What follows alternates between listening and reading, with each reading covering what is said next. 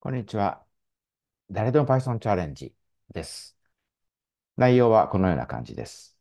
はい。では始めましょう。えー、前々回に変数と計算。前回、条件分岐。if とか if then, if else ですね。をやりました。今日は繰り返しループについてやりたいと思います。はい。では、どんな内容かというと、まとめと復習し、まず、for ループとレンジオブジェクト、ホワイルループ、流れの変更、ループのネスト、などやっていきます。とはいえ、まず、前回の復習ですね。はい。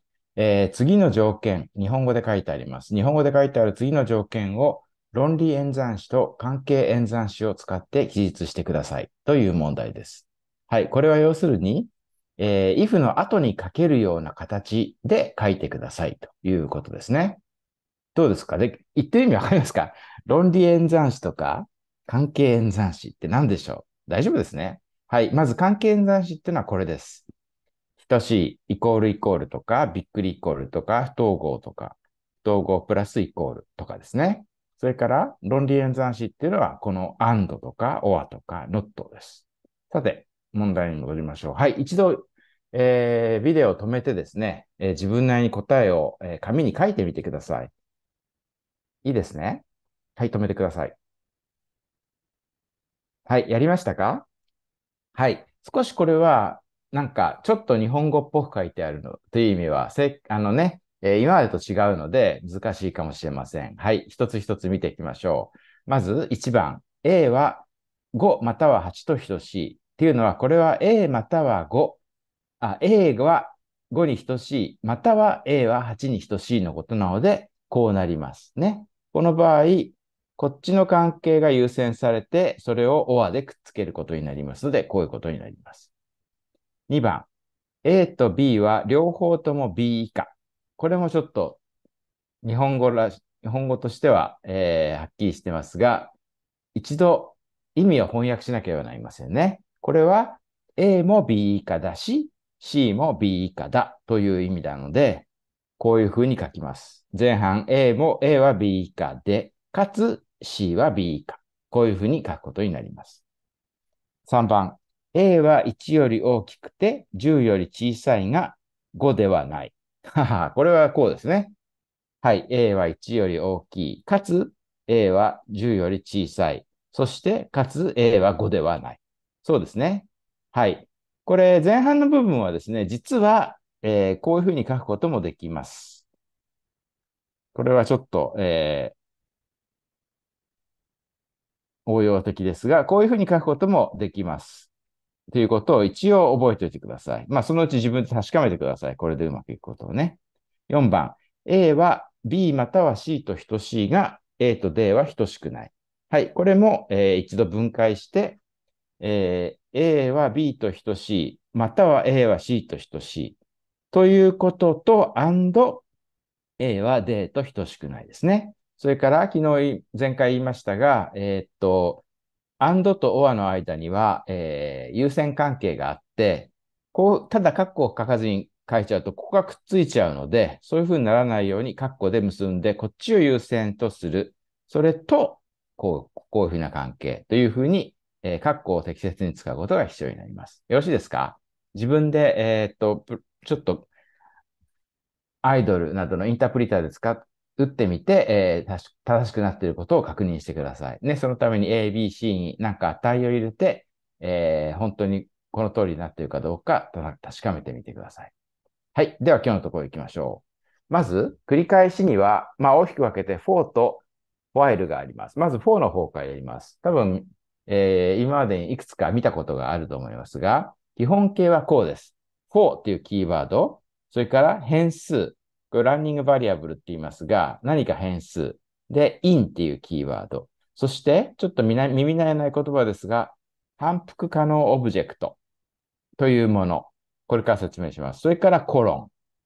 これが、まあ、4のスタートの一文ですね。そして、ここにインデントが一つあって、つまり4つ分のスペースがあって、処理内容を示すブロックがあると。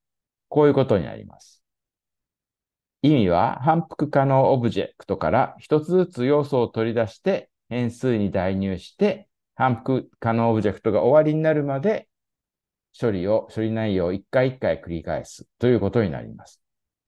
反復可能オブジェクトって何でしょうね？例えば、普通のリストがそうですね。四角括弧で書ったものはリストと言いますが、こういうふうにリスト、10、20、30、40、50っていう5つの要素からなるリストをこういうふうに置くと、これは反復可能オブジェクトですので、まず1回目は i に10が代入されてプリントされる。2回目は2番目の20が i に代入されてプリントされる。ということを5回繰り返して実行結果はこういうふうになります。ちょっと詳しく見てみるとこういう感じですね。1回目は i に10が、2回目は20が、というふうに5回分だけ繰り返し異なる i、異なる値が i に代入されて、その度に i がプリントで、プリントされるっていうのが for 文の中身。いいですね。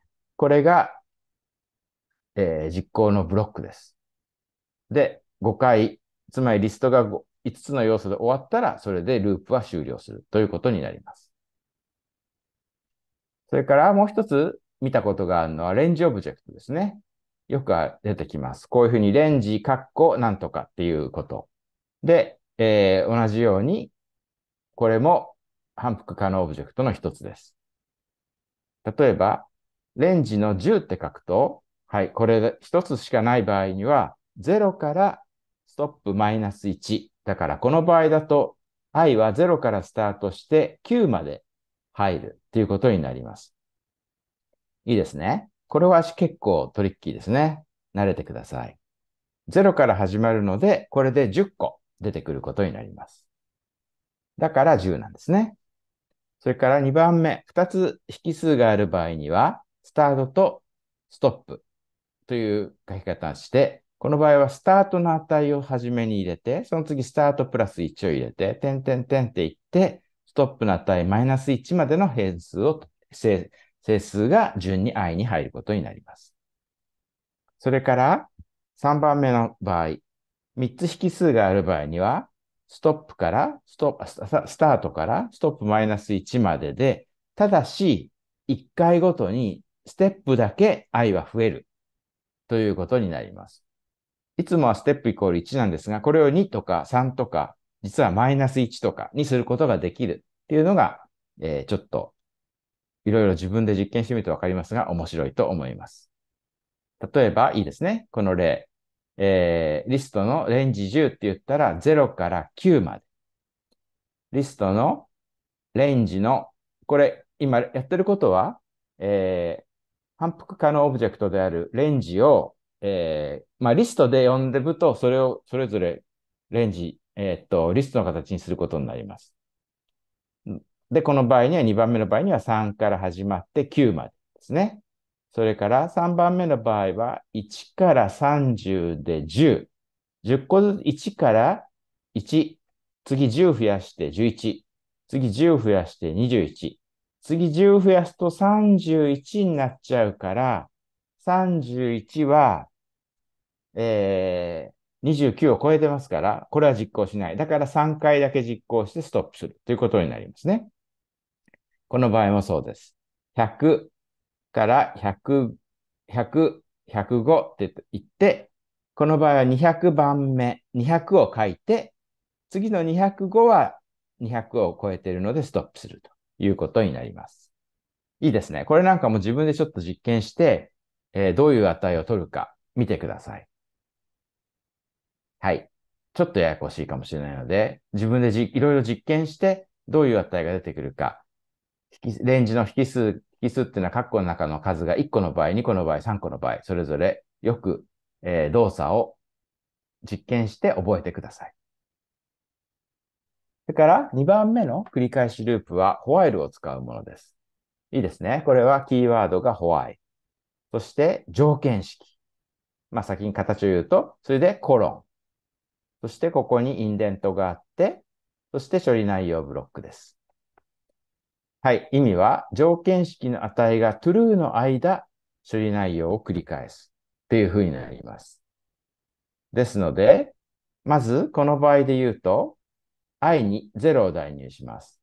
1回目、i は0だから5より小さい。つまりこれは true ですね。だからこんにちはと書きます。そして、書いた後 i に1を足し込みますね。そうすると1になります。1もまだ、これが0の時、1の時。まだ5より小さいので、もう一回に書きます。もう一回足して2になった時も小さいので書きます。3になった時も小さいので書きます。4になった時も小さいので書きます。その次、4の後1を足すと5になります。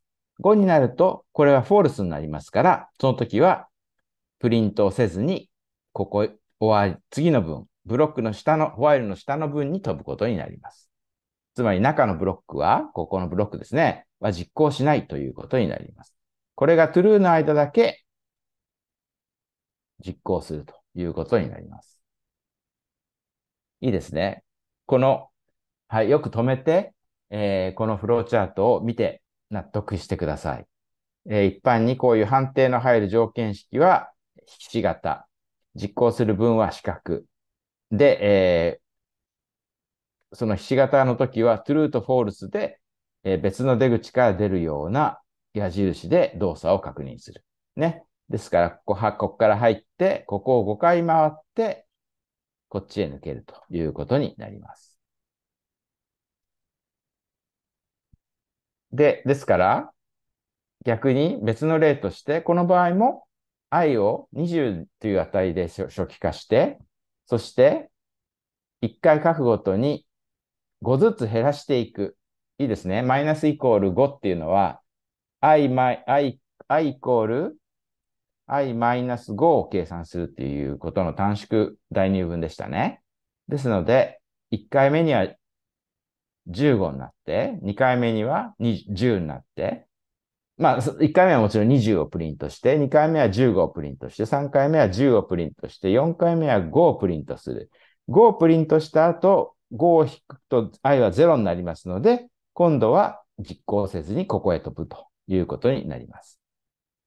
はい。これも結構ややこしいので、よく、えー、注意深く自分で実行して,、ま、してみながら、えー、値の変化を分かって、動作のやり方を覚えてください。よろしいですね。はい。次は、まあ最後ですけど、ループ処理の流れの変更に使う、えー、ものを2つ教えます。1つはブレイクです。ブレイクというのは、まあ本当はこのループ、えー、ここにループがありますね。このループは、えー、レンジ10ですから10、10回回るはずです。で、これですと、例えば1回目には0が入ってます。i にはね。2回目には1が入ってます。その度ごとにトータルに、えー、値を足して、足していくことになります。で、ずっと続けたいけど、ここで、この分、もう一つ内側に if 文があります。ここで if トータルが20より大きくなったらば、コロン、ブレイクって書いてありますね。ブレイクっていうのはそこでもうこのループから抜けちゃうよっていうことです。はい。これを自分で、えー、インタープリターに入力してどうなるか、動作を見てください。トータルが20より大きくならない。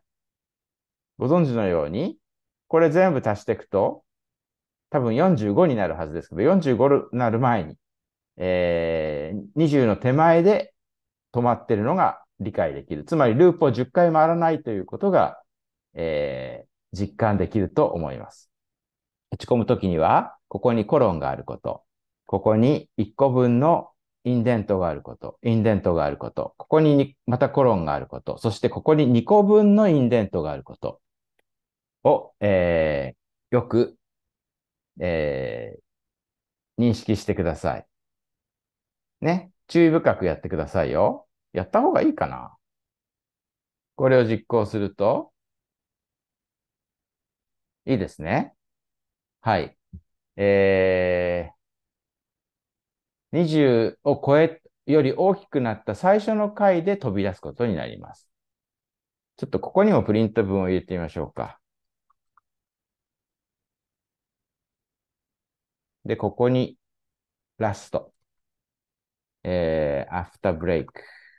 ブレイク後。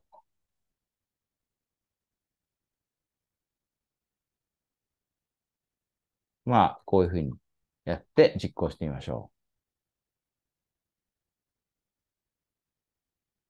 そうすると、はい。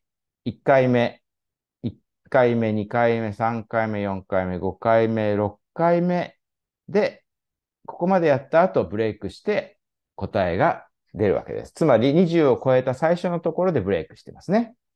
ということがわかると思います。はい、続きます。それからもう一つは、 continue。continue っていうの場合は、そのループだけスキップします。ですので、えー、ここの、この場合で言うと、ここの2つだけスキップして、もう一回ここに戻ることになります。いいですね。これは何をしているか、自分で考えてみてください。ね。えー、i が3で割り切れるときだけ、プリントとトータルへの加算をしないということになります。えー、ちょっとややこしいですが、もっとこの連、ここの数字を小さくしてどうなるか、自分で確認してみてください。コンティニーもよく使いますので、慣れてくださいね。この if が true の時に、ここの条件が true の時には、えー、ここを実行せずにこっちへと。False の時は全部実行するということになります。いいですね。はい。じゃそうですね。この場合は、えー、それから最後、そうですね。ループのネストです。こういうふうに、for ループをの中に for ループを書くことがあります。そのそれはこういうふうに下のように A が1で B が1、2、3。えー、A が2で1、2、3。A が3で B が1、2、3。というふうな順番で実行するということになります。これも自分で書いて実行してみてください。いいですね。これは1の4なので、1からスタートして3までやるということを A についても B について言います。この時にこのラーニングバリアブル、この変数はまあ普通違うものを使うようにした方がいいです。よろしくお願いします。はい。えー、だいたい以上ですね。はい。じゃあ問題。10から20までの整数を順番に足し合わせて、その結果を出力するプログラムを作ってください。ただし、ホワイル文を使った場合とフォー文を使った場合の、えー、2つをそれぞれ作成してみてください。はい。ここで、えー、ビデオを止めて自分でそれぞれやって同じ結果になることを確かめてください。お願いします。はい。やりましたか？はい。じゃあ答えはこうなりますね。ホワイル分だとトータルイコール0としといて、それから i は10としといて、で、ホワイル i が21より小さい間。ね。つまり20になって、20は OK だけど21は違うというふうなことがここに書いてありますね。で、トータルに i を足し込んで、えー、それから i を一つ増やす。ということを繰り返して、最後にトータルをプリントする。ということになります。法文の場合にはもうちょっと短いですね。トータルを0に初期化しといて、で、i in レンジ10から21でやると20で止まるわけですね。で、トータルに i を足し込む。で、プリントトータルということになります。いいですね。答えいくつになったですか？まあ、やってみてください。はい。問題4。3の1で作成した法文を使ったプログラムを対して、15の時だけは足し合わせない。というふうに変更してください。これどうしましょう？はい。これですね。ここで15の時だけ足さない。いいですね。10、11、12、13、14は足すけど、15だけスキップして、16、17、18、19、20は繰り返し続ける。いいですね。これはコンティニューの出番です。こういうふうに、if i が15に等しいときはコンティニュー。つまり足さない。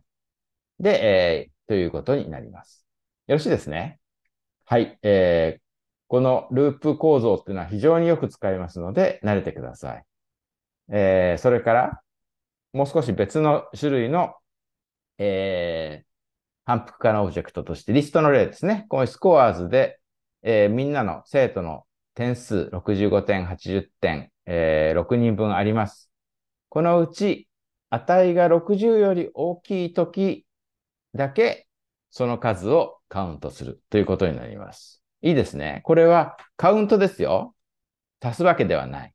いいですね。for i in scores。わかりますね。はい。多分できると思います。if i が60より大きければ、カウントを1増やす。ということになります。これももちろんですが、こういうところのコロン。これが1個分のインデント。こういうところのコロン。ここが2個分、2個目のインデント。ということを気にしてください。いいですね。はい。以上です。えー、ループ大事ですので、よく勉強して自分で走らせて動作を、えー、覚えて身につけて使えるようになってください。はい。今日も、えー、教材のソースは三谷先生の、えー、資料からを作成、使って作りました。ありがとうございます。はい。それではまた次回も見てください。さよなら。